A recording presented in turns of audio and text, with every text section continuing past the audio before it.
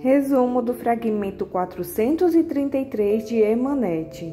E a mãe está conversando com o Nedim e o Nedim pergunta para ele se ele está feliz com a babá. Ainur tenta prejudicar Nana de qualquer jeito. Ela pega o relógio da Nana e pisa em cima e tenta quebrá-lo. E a Nana chega bem na hora e fica muito chateada com o que ela está vendo.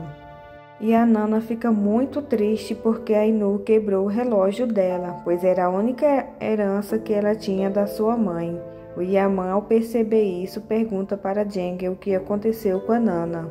O Yaman, imediatamente ao saber que o problema da Nana era sobre o seu relógio quebrado, ele leva ela para consertá-lo. E a mãe Nana corre em perigo, pois o Idris está querendo a qualquer custo prejudicar o Yaman. E o Yaman pede ajuda para Nedim chamar os seus funcionários para ajudá-lo, pois vê que eles estão em grande risco.